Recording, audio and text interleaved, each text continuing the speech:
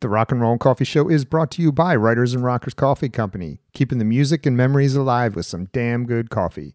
Be sure to pick up your Rock and Roll and Coffee Show coffee only at writersandrockerscoffee.com. And also brought to you by Retroactive, located at Broadway at the Beach in Myrtle Beach, South Carolina, keeping you retro with everything from 70s, 80s, and 90s. ShopRetroactive.com. It's the rock and roll coffee show. Yeah, with Joe.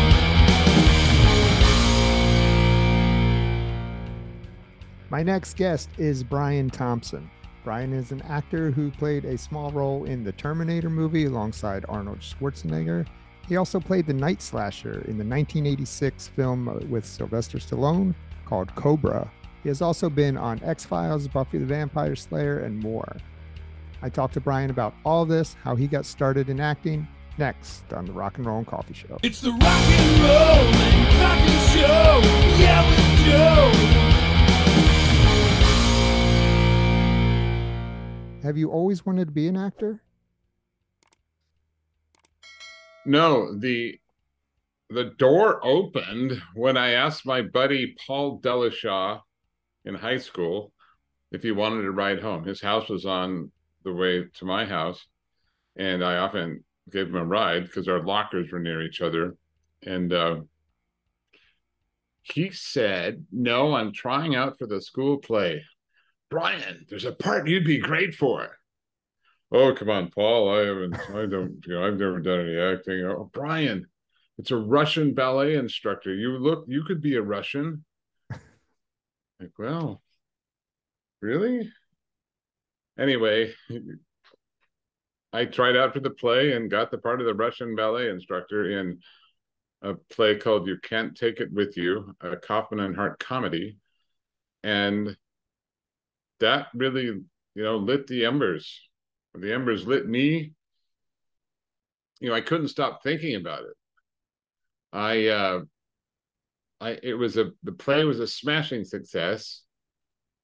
And i liked it more than anything i had done. I had been a successful football player and a, you know a, a maybe a little better than average swimmer and the play was the play's the thing. And uh, I got to college. I played football at Central Washington University. And then, first quarter of the winter trimester, there was a play notice for guys and dolls that said if you didn't have a sing a song, you could sing Happy Birthday. And I was there that night in the theater singing Happy Birthday. Can you sing? or or no? Can I sing? Yeah, enough that I could do college productions and get hired, you know, in regional equity theater. Uh, I did. I got my equity card and did two equity musicals. I did. I played The King and the King and I, and did uh, a Noel Coward musical uh, called Bittersweet. And then and then I started auditioning for film and television, and it paid it paid better. sure, sure. So back a little bit to this first one, this ballet teacher. Did you know anything about ballet? Absolutely not. and How- and unfortunately, that that part of the he's an in-home ballet instructor who's teaching the daughter of the wealthy family uh, how and we just i just had to teach you know i, I don't what yeah. two two ballet moves? Okay. So that was you know raise your arm. I remember i remember holding my arms above my head. I don't. I didn't know if you had a ballet background or not. No uh so you know to to catch up on the you know how i went from central washington university to you know getting my first job in hollywood the uh, I was a I was a music major.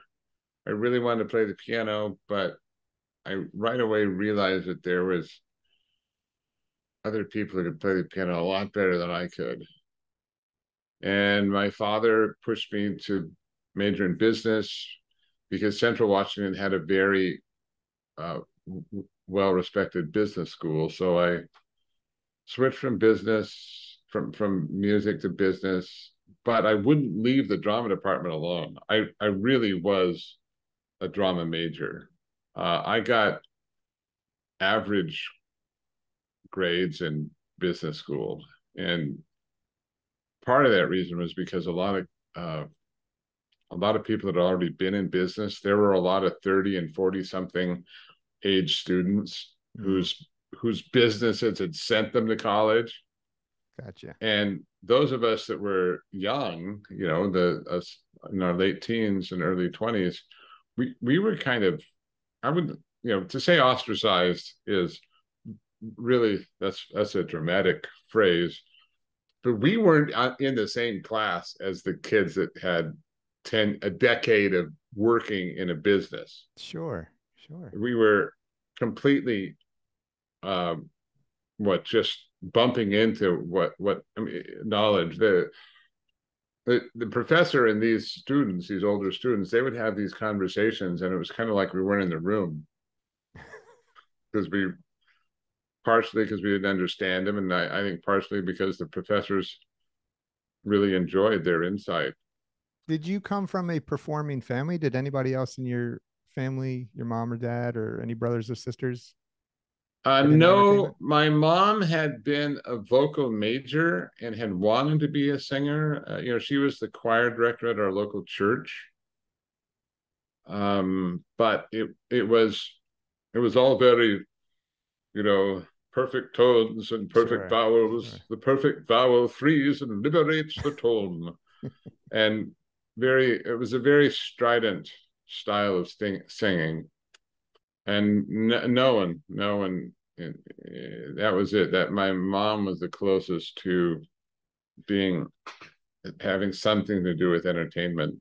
Yeah. No one else. Not a, yeah. No. I asked because you said you were a music major, and then into acting. So you seems like your your path was in some sort of entertainment performance. Yeah, my soul certainly was with music. I yeah. love I love playing the piano. I still play the piano, not as often as I should. Months go by with with the keyboard only collecting dust.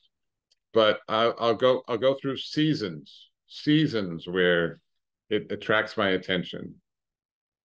And I I I wrote a few songs that I can still play roughly.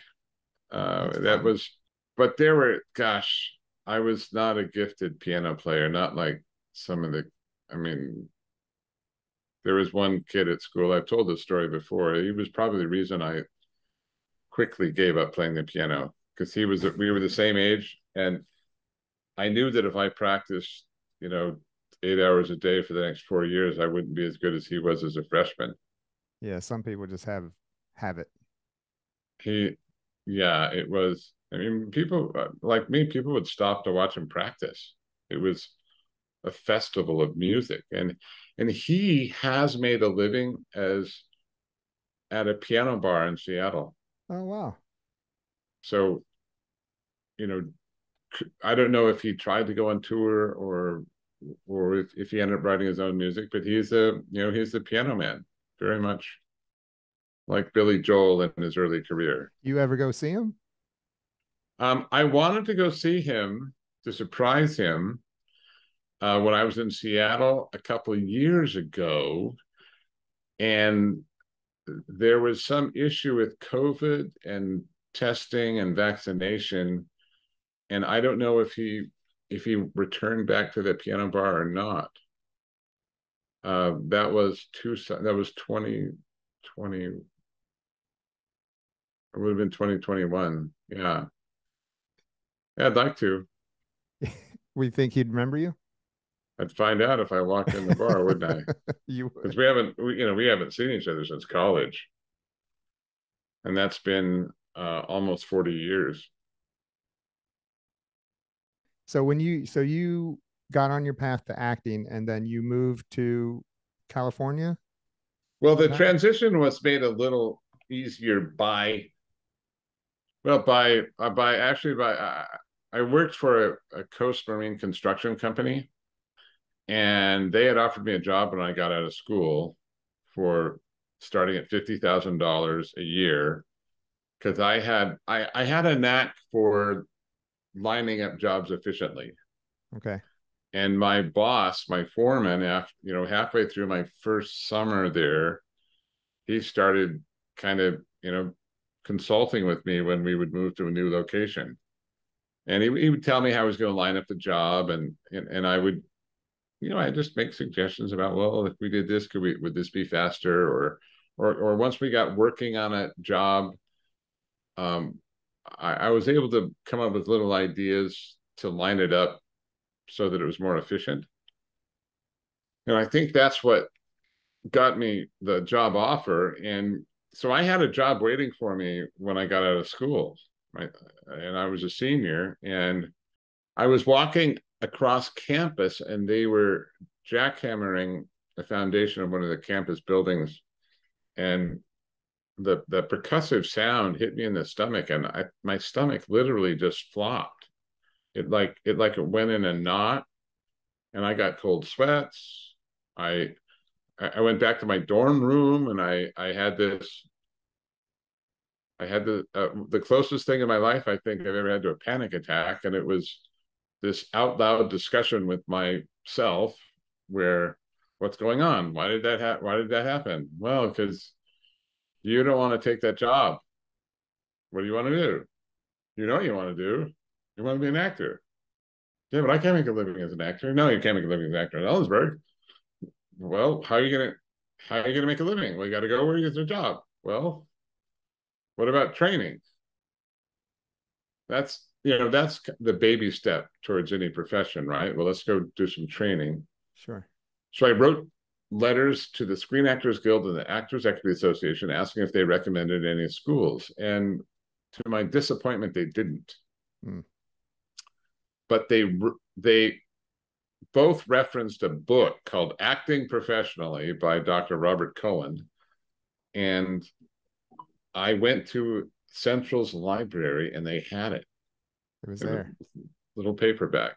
And so I, I read I read that book and he recommended 10 schools, uh, one of which was his own, which was the University of California, Irvine. So I auditioned for uh, several professional actor training programs, and I I basically got a full ride to the University of California Irvine. From I I I, I last minute borrowed my parents' car. I I grabbed a girl that was in a play with me, and we drove to San Francisco. And I I literally auditioned in the San Francisco Opera House.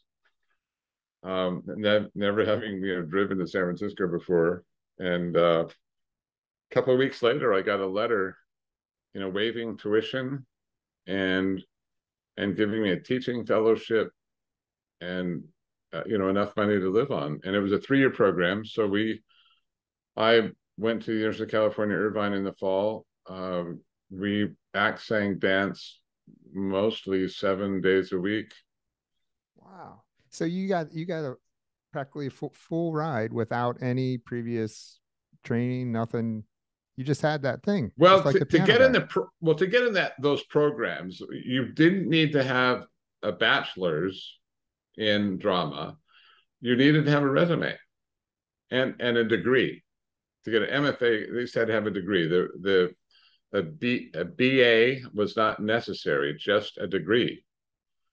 And one of the other actors that got in that same year was uh, was a literature major he didn't have. Uh, I, th- I think everybody else had graduated a degree in drama, so that was that you know that was my relief to find that out when I applied. Was that oh you don't have to have a yeah really fantastic. So so it, it was just a fantastic program. It was yeah. we, we had remarkable training and and its proximity to Hollywood really was a catalyst to um, transitioning from school to you know getting a job because I applied my business knowledge.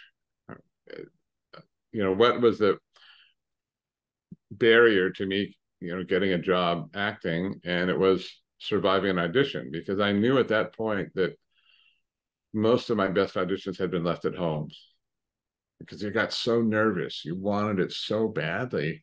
You would, I, I the, the nerves would destroy the ability to to be an artist. And so whenever I could, I started sneaking up to Hollywood to act, eh, to audition. And and I started doing that shortly after the start of my second year there. Uh, the second, the first summer after my first year, summer of 1982, I did the Colorado Shakespeare Festival in Boulder, Colorado. And I came back and I got that idea to start auditioning when I could. And within a couple months, I started getting hired.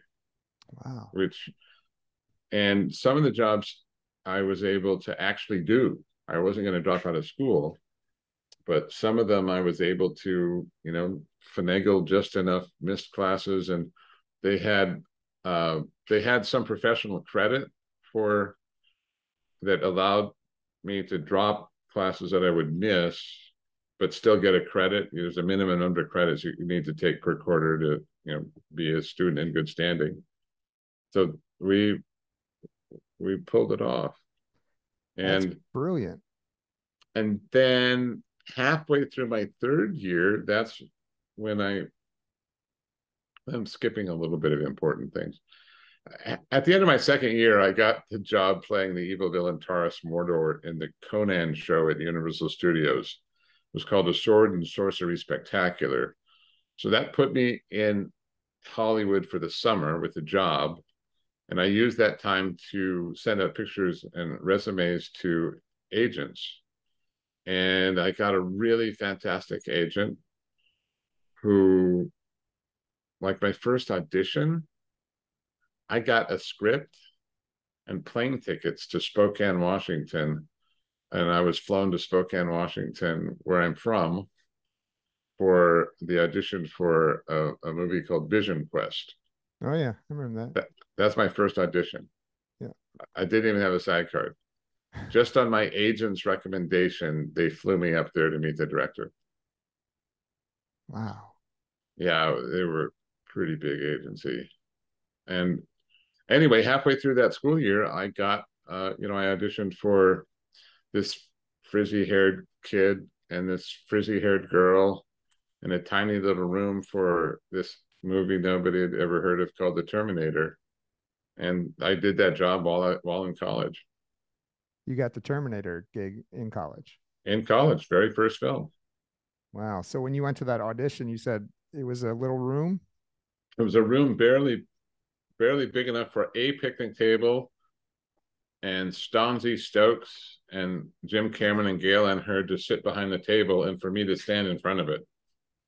Is that how, how are auditions usually? Is it small like it's that? It's usually a little bigger room than that. That's the yeah. smallest room that I believe I've ever had to audition in. There was, you know, while you were auditioning, you felt uncomfortably close. Yeah, I'm sure. So when you walk into the audition, what I mean, how did that go? Did they give you the lines to read, or I mean, what what happens? There was there was those. It was the punk rocker scene. Uh, Stanzi read the, the other person's lines with me, and I finished reading, and Jim Cameron said, "I believe it." Thank you. That was it. It was pretty, I, I don't remember any mm-hmm. small talk. Did they tell you you got the gig, or did they not yet? That almost never happens. No, they don't. The, tell the, right the. Yeah, never. That's like never happens because they got to negotiate with your agent. You know, in a job like this, it was just you know scale plus ten. Yeah. Once in my life, I've had an audition where the director grabbed me, pulled me out of the room, and walked me into the producer's office and said, "Hire this guy." Is the best actor I've seen. One time. And I'm I'm kind of it was exciting to have that happen at the time, but I I honestly, or as time went by, I wish he hadn't done it because you kind of always think, well, maybe that would happen again. it never did. yeah, it's never happened since. and So- and I ended up working for that director on two other movies also. And he was David Beaird was a, a very creative, creative soul. He he wrote. He's a writer director. Ran the Whitefire Theater for many years in Studio City. So in so your audition for Terminator, did you know Arnold was in it? Did they tell you that stuff, or do you not know? At that time, I'm not positive that we knew that it was a Schwarzenegger picture. Okay. I can't say for certain if I knew. I knew I knew shortly after I got the job that Arnold was in it, but I don't know if when I auditioned. I'm thinking I didn't know because uh, as I'm as I'm looking back, being in that room, thinking about who I was reading to, I don't remember picturing, you know, this hulking, hulking, you know, cyborg. That wants to rip your insides out. Yeah, I don't. So how about the first day or when you shot that scene? Was that a one day shoot or did, was it multiple days? Or Oh yeah, it's one day shoot for sure. And and something I haven't read anywhere for some reason. And I, you know, if I see Jim Cameron, I guess I'll have to ask him that. But we had we shot that scene, and Jim wanted to reshoot it. There was something about the first time we shot it that that uh, he didn't. That he want, he- I think he wanted to improve on it. Maybe he didn't like the location. Maybe he didn't like my acting. Um, but uh, we had to reshoot it. So like like a month or more later, you know, I got a call saying, "Hey, we're going to reshoot the scene," and that led to a bit of a a bit of drama at the school because I was in a play that I didn't that I had a very small part in, and I found an actor who would said he would do the part for me, and the director wouldn't let me out of the play. You know, if you if you Ah. don't show up for a play, they'll kick you out of school. a jerk? There was total total power play. Yeah. I was it, Like, and I mean, it was. I I have never seen more casting couch than what I've seen in college. And this was the '80s, and it almost was the culture. If you weren't sleeping with one of your students, you weren't with it. hmm Um, and anyway, if But it worked out though. Uh, uh, well, what happened was, I uh, I parked my car in the loading dock at the uh, well, my call time for the Terminator was eight p.m. That was the curtain. That's when the curtain went up on a three and a half hour Shakespeare play, Coriolanus. Same time. So, at intermission, I parked my car at the loading dock of the play. the The director wouldn't even let me out of the curtain call because I wasn't on stage for like the last like 15 minutes of the play. Still wouldn't even let me out of the curtain call. It's just a complete dick. And so as soon as that curtain came down, I sprinted to my car because I thought, well, I don't, I don't have a job. You know, it's so hard to get a job in any movie in Hollywood. So I, you know, what I was 23 years old. I drove over 100 miles an hour up I 5. And it was like, it's kind I, I, it's the only time in my life I drove that fast. But at 100 miles an hour, it's like the other cars are sitting still and you're just going you're just going through them almost as if they're stationary. I drove oh god, it was stupid.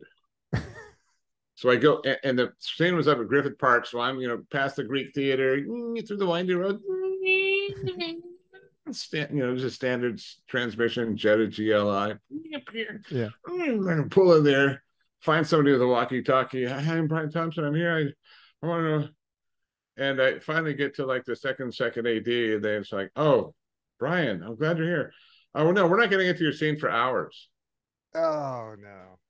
and that's the you know that's the beauty of cell phones Yeah, you know, didn't had- have them back then. had had i have been able to reach the set i would have had the second ad's phone number i could have called them and they'd have said brian oh yeah take your time so you know and i'm sure there's other instances like that you know cell phones i believe have saved people's lives because i believe that the fact that people know they have more time to get somewhere has allowed them to not drive like a stupid 23 year old kid who doesn't want to lose a part in a movie.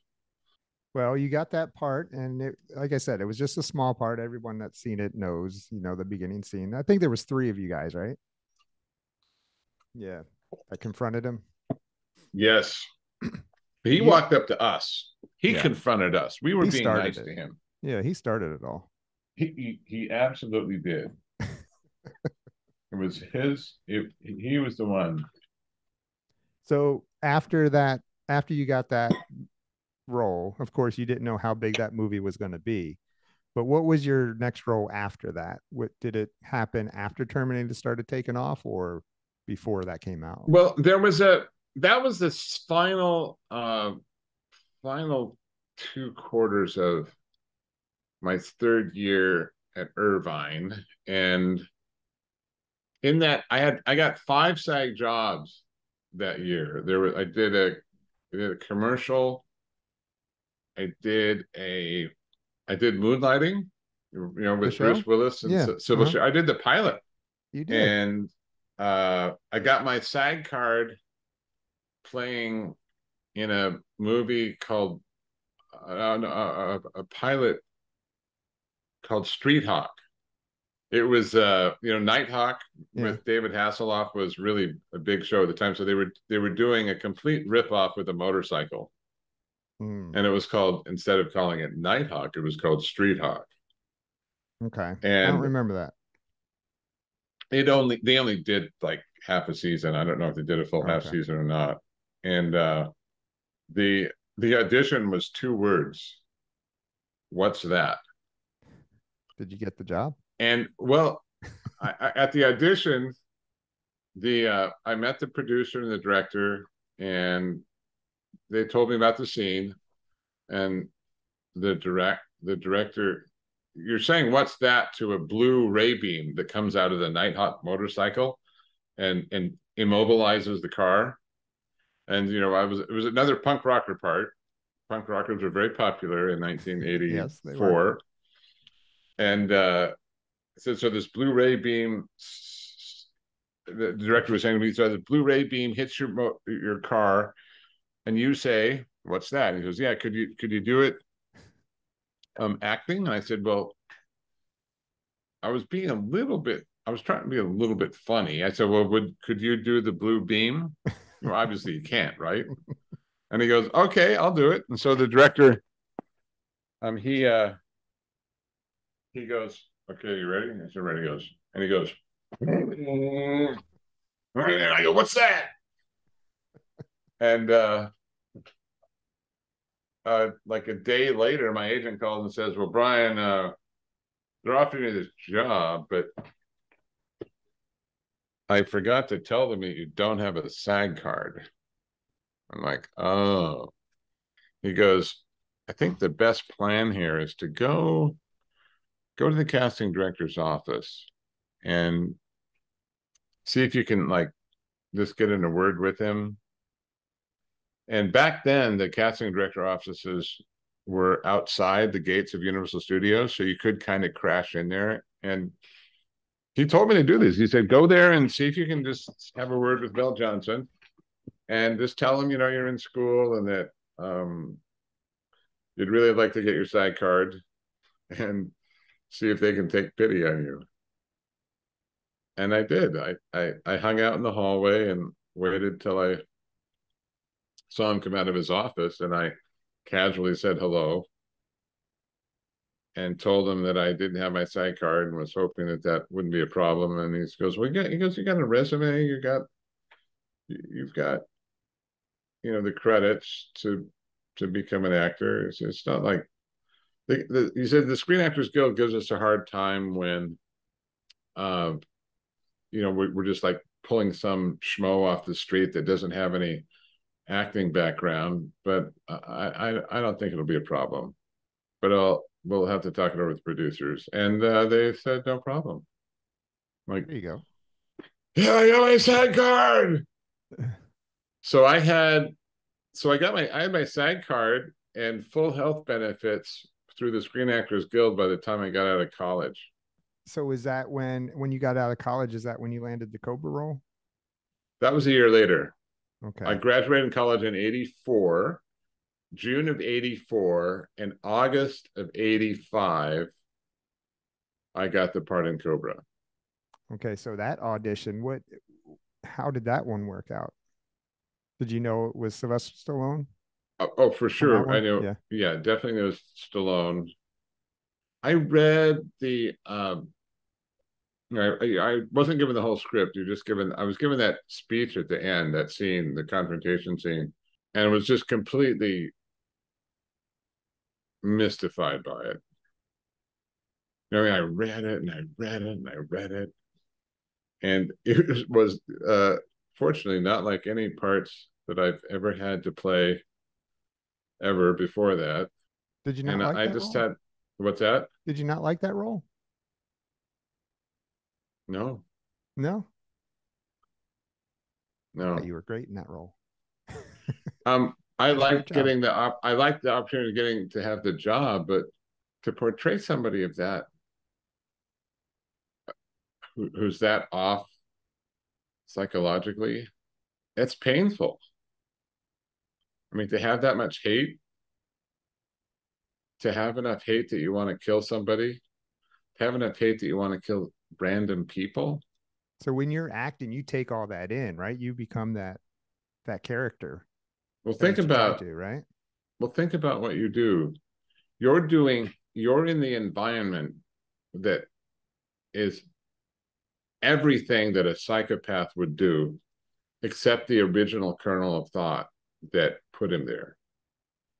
Your body's experiencing the same thing. All that blood is there the weapons there. The victim is screaming in horror. Yeah you don't if so, if somebody really can do a part like that and then just and not have be given nightmares by it, I don't think they're I don't think they've delved that deep into the human psyche to understand that type of of pain, hurt, and and commitment, commitment to that evil behavior just fully committed. That's interesting you say that because I've, I've never thought about it that way as an actor would feel that in that type of role. Well, think about think about getting in a car wreck. You been in a bad car wreck or a, a car wreck enough that it shook your bones and broke some skin? Drew some blood, yeah. Well, it stayed with you for a while, didn't it? Yeah, for a little bit. Yeah. So when you were in during the audition, did you think maybe this role isn't for you? Or were you just excited to get in this type of movie? I didn't have the thought that this part wasn't for me. I didn't have, you know, I didn't have the, I didn't have any kind of career ambitions or any thoughts to shape a career.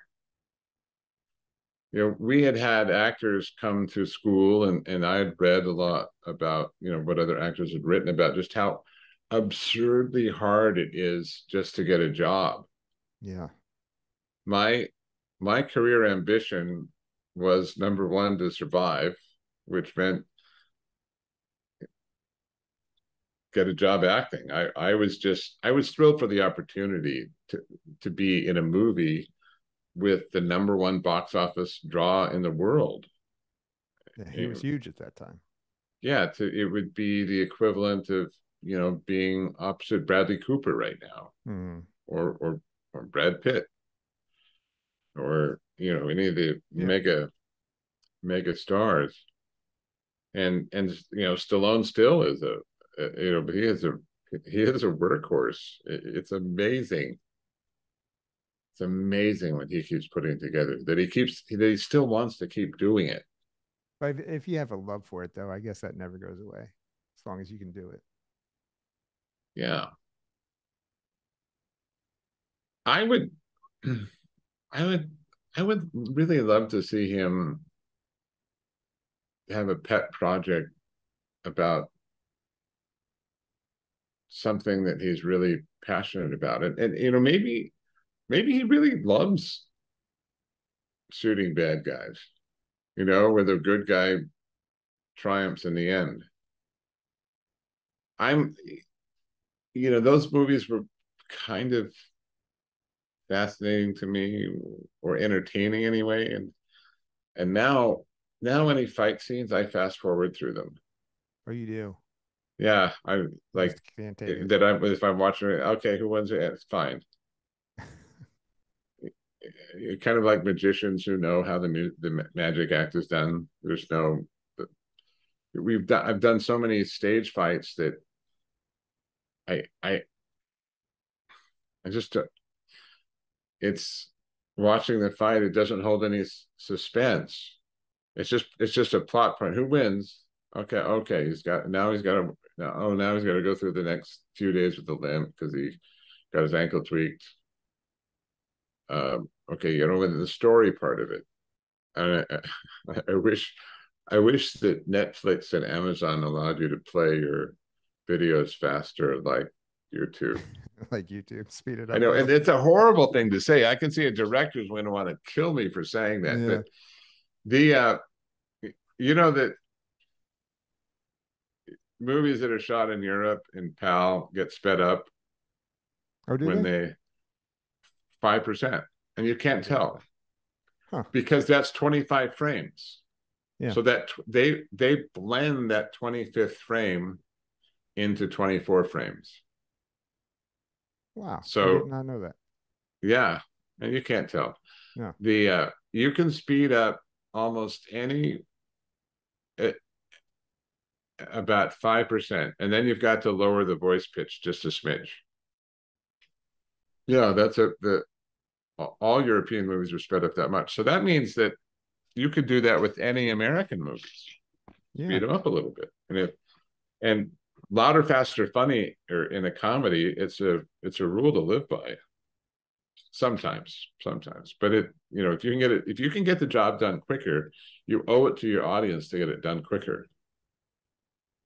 So let's go back to Cobra a little bit. Um, that role you played in that movie, um, I'm sure I'm not the only one. I'm sure you've heard it before, but you were a pretty scary character in there. Well, that guy is the guy is the guy was effed up, right? So that kind of role, like he didn't have, he had some talking parts in that film, but there wasn't a whole lot. It was more mannerisms, I guess you would say, you know, and and facial expressions that that portrayed what you were trying to get across. Is that harder to do that kind of thing than a more speaking role? I would say that no, that that's much that's much easier. Is it? Okay. You know, the- yeah, because you you know when you're speaking a- and not so much anymore, but when they shot stuff with one camera or just two cameras, you know, you had to match everything that you did. A lot of people don't understand. A lot, most people don't know about matching. When you're talking and I'm scratching my nose when I say nose right here, on take two and three, you got to scratch your nose when you're, or take a bite of food, or turn to that person this way, or they can't cut it together. So the freedom of not having to match exactly your actions with words uh, is uh, allows you to just be in your imagination. So that's that's actually there's a freedom there, the freedom of not having to do as much matching. You still are required to match, but not it's not as regimented based on what you're how you're talking. You know, one thing I like that movie. I like Cobra. I was a, a Stallone fan, especially during that time with Rocky and Rambo. But and, well, you said was. Does that mean it's past tense? Well, I, I was trying to think. No, I still like him, of course, but I don't know his last movie that I've seen. I can't remember.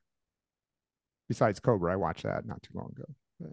New movie? I don't know. What's a what's a new movie he's got out?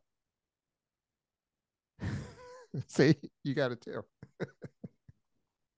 but anyway, um, so working with working with him and on your first, that was probably your first major role, right? For sure. Yeah. So, I mean, how was it working with him? Well, the you got to understand, you know, the context that he was operating in when we did Cobra. He was engaged to and married Brigitte Nielsen during filming. Oh, during filming, I did that. Yes. And Rocky Four was out. It was the number one movie in the country. So he's he's got so many things you know he's being prodded from all angles you know he's he, he was you know didn't have time to really concentrate say just on the movie Mm. and it was, it was my first look into seeing how much you know some of these stars are not as committed to the acting craft the acting craft part of it as the as the filmmaking part of it. Maybe that's because he understood what the minimal amount that needed to be done to get the the bits and pieces that come together out of sequence and and make a story. Like i i tried i tried to get some justification for the group of men that i was leaving leading. Yeah, wasn't And- really anything there. and the conversation fell on deaf ears it didn't it wasn't didn't seem important to sly it didn't seem important to cosmatos and it certainly wasn't important to the producer james brubaker that was really disappointing Sure, little letdown. You know, you would have made a good uh opponent in a Rocky movie. For him. and well and maybe you know maybe that's kind of why i got cast you know he had just he had just cast dolph lundgren. And dolph and i have uh, been to auditions for the same parts. Uh, you know we're both probably you know western european looking you know angular features taller slightly taller than average. Yeah, how tall are you? six two. Okay, you're a pretty big guy. does Well- that does you does your build and and your body type does that limit you in acting to certain roles? Like pe people see you and say, well, he needs to be this kind of role, or has it has it kept you from getting roles that you really wanted? Not that I know of. Um, most, uh, be, I think you know maybe initially in those early years, you know there was uh, there was sort of a more stereotypical casting going on in the 80s and 90s, but now you know the the world is so much more homogenized. You know anybody can do anything. You know it doesn't your body type doesn't mean that you can't be a doctor. You know, it might maybe you can't be uh, a fighter pilot because there are size limitations on astronauts and fighter pilots, um, or or or, or jockeys. Yeah, um, but golly, you know, there I you know the world is really opened up in that respect. I I I see all types of you know almost all the parts I audition for anymore say open to any ethnicity. You never saw that in the 80s. If you had if you were of an ethnicity, it typically was a story point. There's a reason he's a Russian. You know, there's a reason he's a German. There's a reason he's from uh, you know, Asia somewhere, or and that's it doesn't matter anymore. Which is which is a, a, a very nice nice part. But the you know, the other side of that is that, you know, there's more actors from all over the world, you know, really good actors that are, you know, can play those that you're up against. I haven't had an audition for a dialect role. I don't know if I had an audition for, you know, needs a German accent. I don't. They can just. There's hundreds of German actors in Hollywood they can cast from. Yeah, They're Yeah. real German accents. right. So when you get a role, what what attracts you to the script? I mean, what attracts you to a role? Well, you know, in those early years, it was the fact that they actually had they could pay you. Seriously, you don't, you know, you you've got kids, they got to go to school. Uh, what attracts me now is the story. And is it a story that might have a chance of standing the test of time? Uh, uh um, I, you know, it took me 36 years to get an audition for you know the Coen brothers to get in to get in the room and you know so I I I got a couple scenes with uh, Denzel Washington and Macbeth that's um I think that story is going to stand the test of time yeah. I'm just I'm just throwing that out there as a as a wild assumption have you watched the uh you know this year I put up 40 characters in 40 minutes on YouTube on your YouTube mm-hmm. I don't I don't think I saw saw that.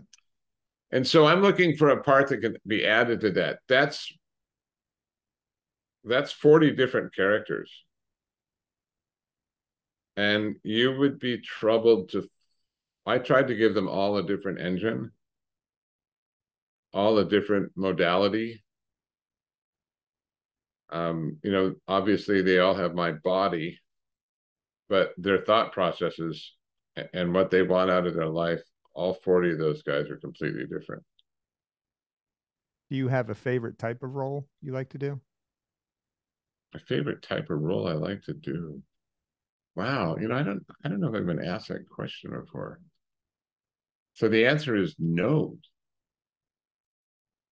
I like I like to I like to be part of a good story As long as the story is good, you're you're good. yeah, it. I like to be part of a good story, and and I don't, you know, I don't have to have the showy part. It's nice if it's something that uh, uh, there's some meat in, you know, that you get you get your time carrying the ball, uh, or or they'll let you do something, some some you know creative choices of your own. That's always fun you know, that you're not getting shoved into a box that might be similar to what you've done before. All right, Brian. Well, listen, man, I appreciate you taking the time. I know it's late.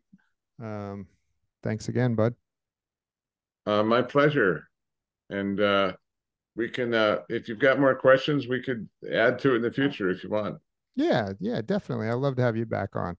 You okay. got any? You got anything coming up in the future here soon?